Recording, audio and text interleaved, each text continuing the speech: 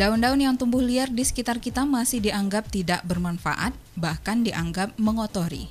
Namun, daun-daun tersebut bisa dimanfaatkan menjadi produk yang bernilai dan ramah lingkungan.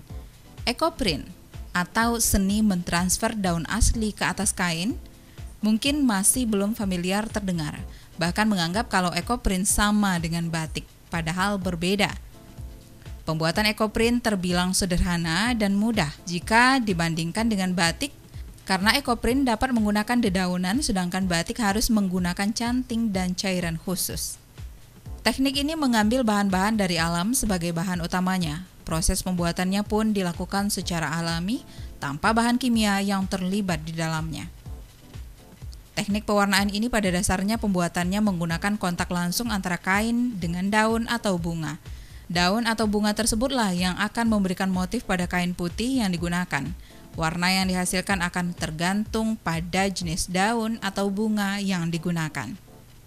Dengan menggunakan metode tertentu, bentuk dan warna dari daun ataupun bunga yang digunakan akan tercetak di kain.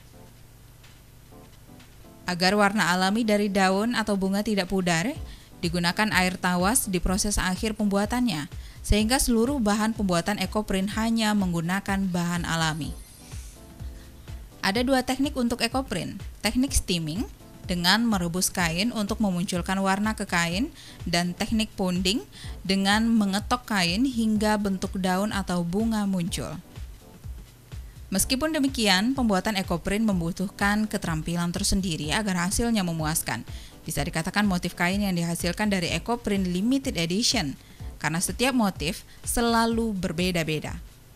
Untuk harga, tergantung pada dasar kain yang digunakan, mulai dari ratusan ribu hingga jutaan rupiah. Tidak itu saja, produk ini sangat ramah lingkungan.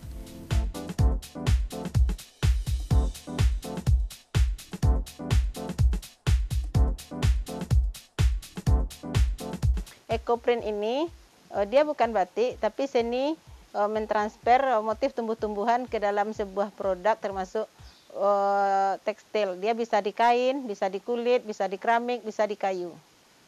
Dengan memanfaatkan uh, alam sekitar, mulai dari pewarnaan sampai uh, apa daun-daun yang digunakan, bunga-bunga yang digunakan, memang benar-benar alam. Sampai penguncinya juga dari alam seperti kapur, tawas, cuka, tunjung. Ekoprint ini Eh, kita produk ramah lingkungan, menjaga lingkungan, dia tidak merusak lingkungan. Tinggal ambil daun, taruh di kain, terus nanti warna daun itu mentransfer ke kain melewati kukusan eh, setelah kita kukus, terus jadi.